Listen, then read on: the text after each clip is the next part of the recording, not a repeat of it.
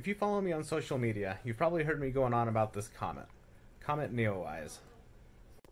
This is the first picture I got of the comet. At first I thought it was a smudge on my screen, or some kind of reflection, but as I started to move my phone around, the spot moved with it, and I realized that I was getting pictures of the comet. This is the best picture I got that night. You can clearly see the head of the comet, which isn't that impressive, and the tail, which is harder to see with light pollution. The following night I went out and wasn't able to get such good pictures. I stood in a different spot where there was more light pollution, but this continues to be the best picture I have ever gotten of Comet Neowise. So how did I get these pictures? I'll show you.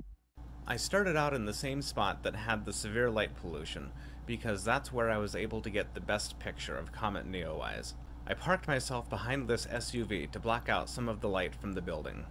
Night Sight is an application that comes default on Google's Pixel 3 that keeps the camera shutter open for longer, allowing more light to get in.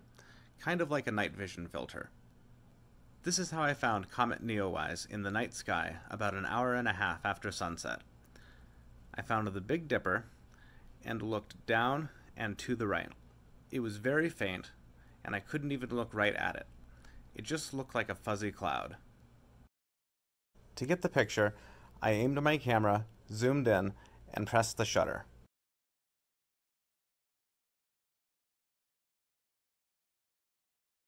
That's it to the left. It's not a very good picture, but it's a good representation of what it looks like with the naked eye. So I re-aimed my camera and took another picture. This picture is about the same. It's not very good. You can see the comet, but not really the tail.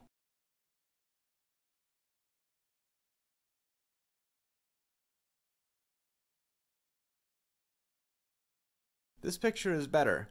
You can see the tail, but not really the comet. It's getting fainter as it moves away from the sun.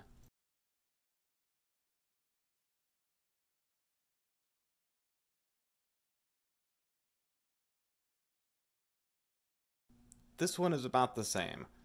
You can kind of make out the tail, but you can't really see the comet. There's just too much light pollution in this spot.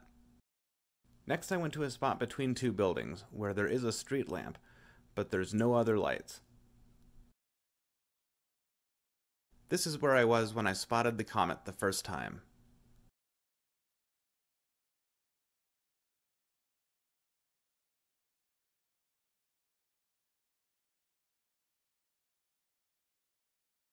With less light pollution, I was able to get a picture of the comet and the tail. It's off to the right. So I changed the angle of my phone to try and center it.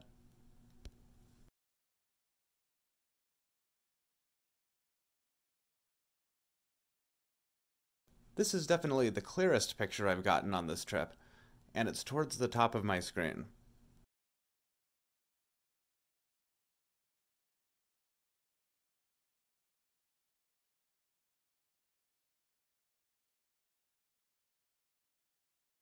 I got this one centered a little bit better. Trying to take a picture of a faint object that you can't see through the camera lens requires a lot of patience, diligence, and trial and error.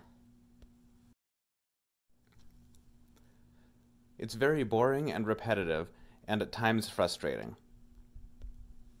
But if you're patient, the end result is worth it. There. Now that's a good picture.